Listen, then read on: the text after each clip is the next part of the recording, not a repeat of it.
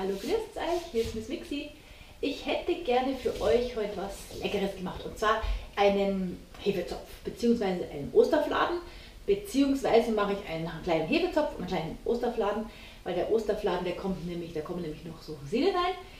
Meine Söhne und ich mögen die nicht, mein Mann steht total drauf, deswegen kriegt er einen kleinen Osterfladen mit Rosinen und wir einen Osterzopf ohne Rosinen. So, das Rezept habe ich aus dem äh, Thermix, aus diesem bayerischen Kochbuch. Und zwar müssen wir da zuallererst ein sogenanntes Dampfall machen.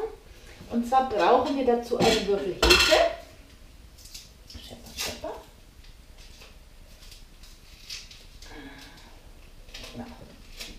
So.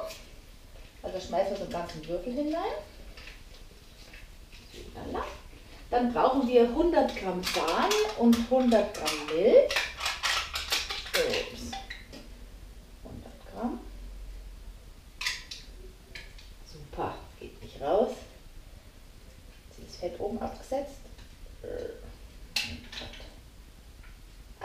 Batzel schon wieder. So, 100 Gramm. Dann 100 Gramm Milch. Dann können wir das auffüllen, weil die hat jetzt 105 gerade gehabt.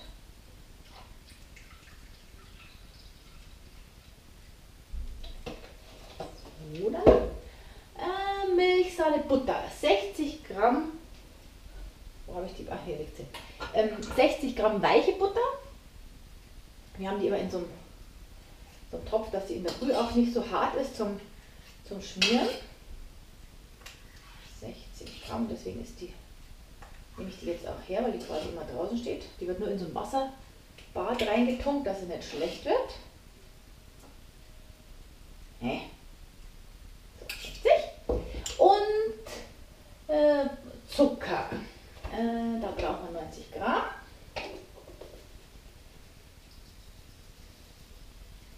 Ich nehme immer diesen normalen Rohrzucker, aber ihr könnt auch den ganz normalen, einfachen Zucker nehmen. Ich mag es halt lieber so. Dann wieder runter. Soll dann schmelzen. Dann brauchen wir noch die zwei Eier. Tatsächlich sind, seht sie sind ganz grün. Und zwar ist es nicht, weil ich die schon gefärbt habe, sondern weil es von sogenannten Grünlegern sind. Das sind so Hühner, die legen halt immer grüne Eier. Das ist halt praktisch zu Ostern, muss man es nämlich nicht färben. Die Cousine von meinem Mann hat nämlich so eigene Hühner und die bringt mir immer so ganz leckere, frische Eier. Vielen Dank dafür, an mir auf diesem Weg, Renate. Sodala. Die Eier, die Hefe, Zitronenöl, das habe ich jetzt nicht. Jetzt nehme ich einfach ein bisschen Zitronensaft. Ich hoffe mal, dass das genauso geht paar Tropfen. So. Und jetzt kommt das Ganze 2 Minuten, 37 Grad, Stufe 2, das einfach ein schönes Dampfteil wird. 2 Minuten, 37 Grad, Stufe 2. Bis gleich. So, unser Dampfer ist fertig. Ja ein bisschen kreisige, so ein bisschen braune Suppe ist das geworden. Jetzt kommt da rein das Mehl. Ihr könnt Weizenmehl nehmen, ich nehme, wie ihr wisst, immer Dinkelmehl. Und zwar davon brauchen wir jetzt ein Pfund, also 500 Gramm.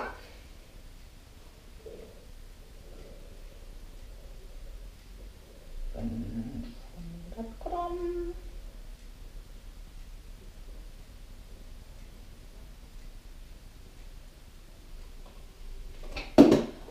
einen Teelöffel Salz. Das Ganze wird jetzt dann auf der Knetteigstufe. Ähm, drei Minuten auf der Knetstufe geknetet und dann wird er eine halbe Stunde im Topf gelassen, um dann zu gehen. Ja? Also, wir sehen uns quasi in 33 Minuten wieder, drei Minuten kneten, halbe Stunde gehen lassen im Topf. Braucht ihr gar nicht auftun, sondern die lassen wir dann einfach schön im Topf gehen. Bis dann, ciao! Der Teig hat jetzt drei Minuten geknetet. Jetzt wollte ich doch nochmal dazuschalten, weil ich habe nämlich jetzt doch beschlossen, die nicht im, im Topf gehen zu lassen, was ohne weiteres möglich wäre. ist ja schön warm, dann würde er schön hochgehen. Ich nehme jetzt die Hälfte des Teiges raus, weil ich mache quasi einen mit Rosinen und die anderen ohne Rosinen. Deswegen tue ich jetzt die Hälfte des Teiges hier raus. Oder sogar vielleicht ein bisschen mehr. Und lasse die andere Hälfte da drin. Und gebe da jetzt die Rosinen noch dazu und mische die jetzt noch schnell unter. Dann sind die wenigstens auch schon mal im Teig drin, dann brauche ich den nachher nicht mehr so arg durchkneten, wenn der dann. So. Also so viel lasse ich jetzt noch drin. Da kommen jetzt die Rosinen dazu. Ähm, ja. Bloß da gieße ich jetzt den Rum, gieße, den habe ich jetzt in Rum eingelegt gehabt, die Rosinen. Und die schmeiße ich jetzt dann einfach hier mit dazu. Den ganzen Rum kann ich natürlich nicht reintun, das wird mein Mann ja total betrunken. Wollen wir ja nicht. Ja.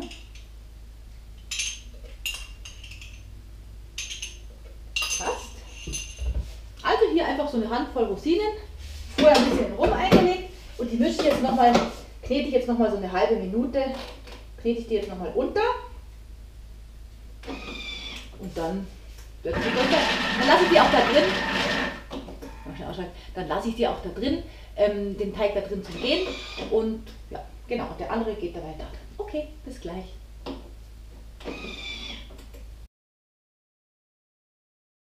So, der Teig ist jetzt ein bisschen gegangen.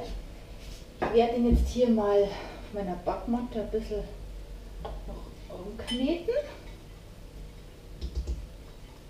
Da kann ich eigentlich auch mal was anderes nehmen als nur so ein Button. Habe ich ja alles da. So, holen wir den mal hier raus, den Teig. Bloppeln den mal so hin.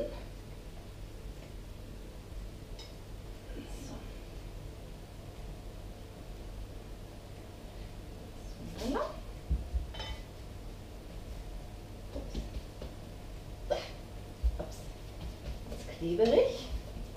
Wird noch ein bisschen hin und her geknetet. Ich weiß nicht, ob ihr das seht, was mal. So, sieht man es besser.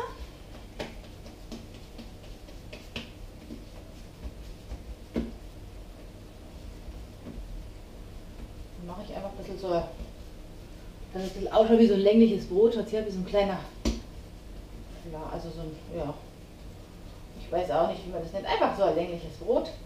Dann tue ich das hier auf meinen Zauberstein drauf. Und mit dem anderen Teig, den werde ich jetzt mal schauen, ob ich den, ob ich den vielleicht doch auch in, als Zopf mache. Das heißt, ich muss den erstmal in drei Teile teilen. Jetzt machen wir den Mehl hier hin. Sonst beppt der mir total fest. Mhm. So. Und dann durchziehen.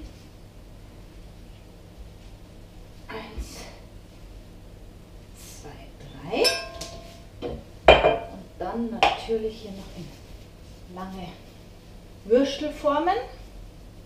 Das sind so drei lange Stränge. So,